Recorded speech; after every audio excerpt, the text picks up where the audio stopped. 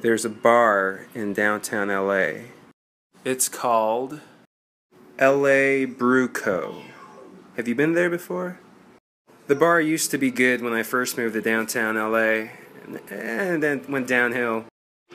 But recently, a TV show called Bar Rescue came and gave it a makeover. And tonight, Caitlin, me, Peter, and my other friend Ezra are gonna go check it out.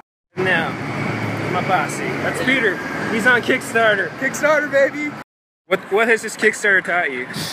Uh, that if you have all your friends supporting you for something that you that's like everything means everything it means everything to you and every and all your friends are supporting you. It's it's just like the uh, one of the best feelings I've ever felt in my life. So that's why Kickstarter is just Peter Peter is on Kickstarter right now. Look him up in the music section. You'll find it on the front. He's making an album.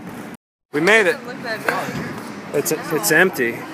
Ezra joined us. Oh, it's a video. I'm Like, all Snapchatting. posing like an asshole. We just We- got our we beer came here menu. when it was Ezra's still- too loud.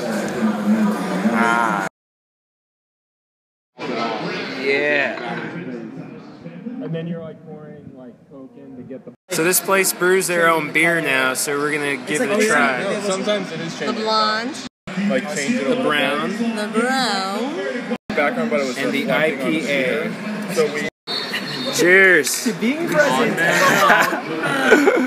The beer is not bad. Holy cow. are you? Which way are you That shooting? This way IPA or that way? is so hoppy. They say you're a pepper, but I'm the one drinking the pepper. So creepy. Food does not look bad. Now, did you look into other?